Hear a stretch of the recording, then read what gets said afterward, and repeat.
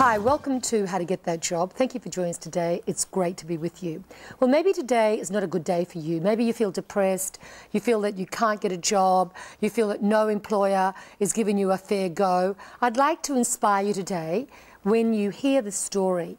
I'd like to welcome you to a very special guest, Nyak Muon. Welcome to the show. Thank you very much. Thank you for coming all the way from Melbourne today to share your story.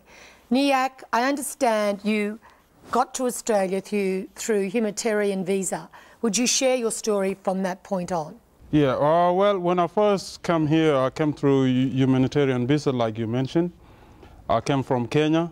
When I first arrived here, it was 2002, somewhere September there. Right. So when I first settled down, I was thinking that uh, maybe I would have get a little bit work or get a job. So you had difficulty getting a job, right? To get a job or go to school. Right. So I chose to get a job first right. so I can get a little bit money to exactly. stable myself. Yeah.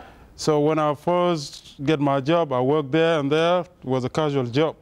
So I wouldn't have a time, I mean, uh, enough money to, to, to secure my life yes. or my living.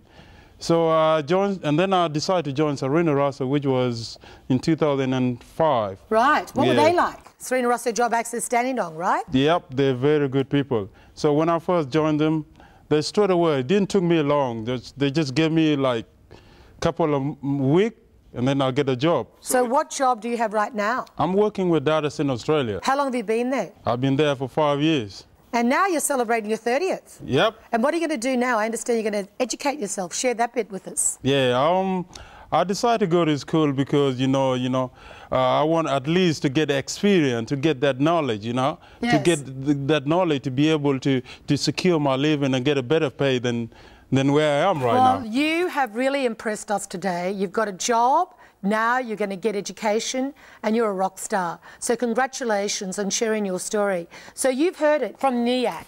What an incredible story. What a way to inspire you today to make a difference. Pick up the phone, give us a call, check our webpage, and remember, things will change for you right now. Pick up that phone. Ciao for now.